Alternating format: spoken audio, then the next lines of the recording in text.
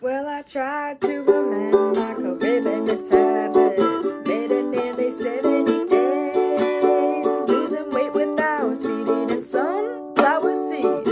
Drinking lots of carrot juice and soaking up the rays. But at night, I'd have these wonderful dreams. Some kind of sensuous treat. Not zucchini, fettuccine, or bulgur wheat. But a big one, but and a huge chunk of meat.